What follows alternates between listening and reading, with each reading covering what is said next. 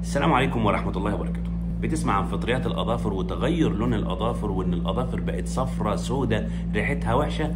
هقول لك النهاردة عن أهم العوامل اللي بتساعد في حدوث فطريات الأظافر علشان تتجنبها وعلشان تمنع حدوث فطريات الأظافر عندك.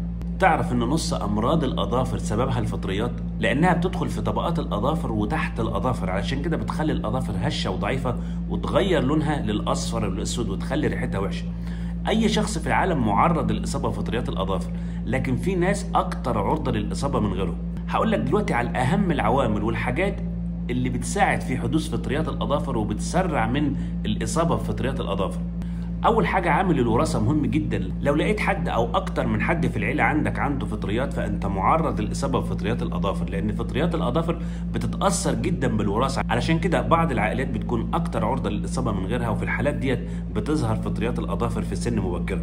فلو كان في عيلتك حد عنده فطريات فلازم تفحص قدمك كل يوم ولو لقيت أي تغير فيها لازم تستشير أخصائي القدم.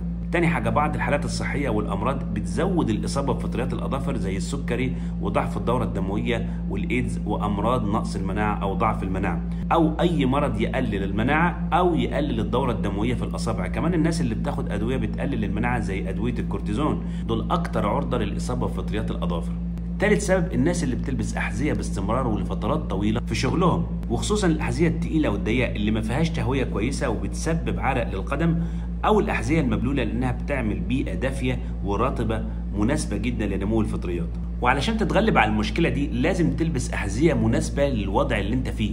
يعني ما تكونش تقيلة وضيقة وما تكونش مبلولة وتجيب أحذية مصنوعة من مواد بتسمح بتهوية القدم وتمنع تعرق القدمين. ولازم يكون عندك أكتر من زوج من الأحذية تغير فيهم على مدار اليوم وبعد الشغل تجفف الأحذية كويس وتستخدم شرابات قطنية.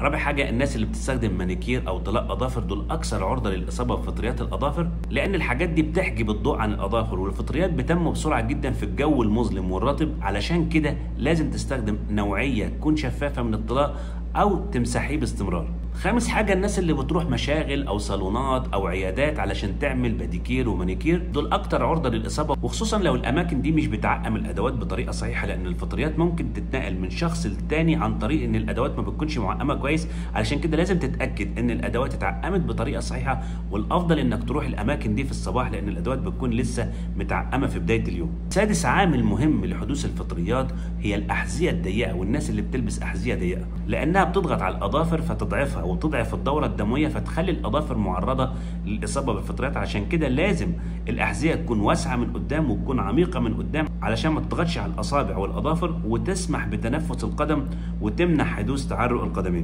سابع عامل هو غرف تغيير الملابس وخصوصا للرياضيين والسباحين. لأنها بتعتبر من المناطق الرطبة اللي بتسمح بنقل العدوى من شخص للتاني عن طريق الأرضيات الرطبة والملوثة من شخص آخر وكمان بتساعد على نمو الفطريات بسرعة. علشان كده لازم تلبس حاجة في رجلك تحميك من الإصابة وتحميك من الرطوبة وكمان لازم تنشف رجلك كويس.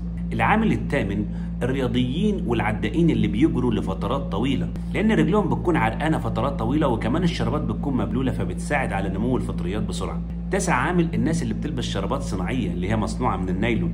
لأنها مش بتمتص العرق فبتكون وسط مناسب لنمو الفطريات. علشان كده لازم الشرابات تكون نوع جيد ولازم تكون قطن ولازم تستخدم أكتر من جزء من الشرابات في اليوم ولازم تغسلها لوحدها بعيد عن الملابس التانية. العامل العاشر والأخير الناس اللي بتستخدم أدوات ناس تانية زي الفوط والمناشف والشباشب والأحذية والشرابات وأدوات تقليم الأظافر. كل دول معرضين للإصابة لو كانت الحاجات دي ملوثة من ناس مصابة بفطريات الأظافر أو فطريات القدم. كده يبقى إحنا عرفنا أهم عشر عوامل بتساعد في حدوث فطريات الأظافر وبتسرع من حدوث فطريات الأظافر. لو عندك عامل من العوامل ديت يبقى أنت معرض للإصابة بفطريات الأظافر لازم تاخد بالك من كده. لو عندك أي سؤال أو استفسار بخصوص الموضوع اكتب لنا في التعليقات تحت الفيديو وإحنا هنرد عليه.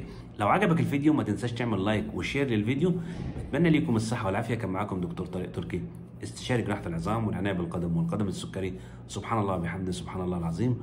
وآخر دعوانا أن الحمد لله رب العالمين. والسلام عليكم ورحمة الله وبركاته.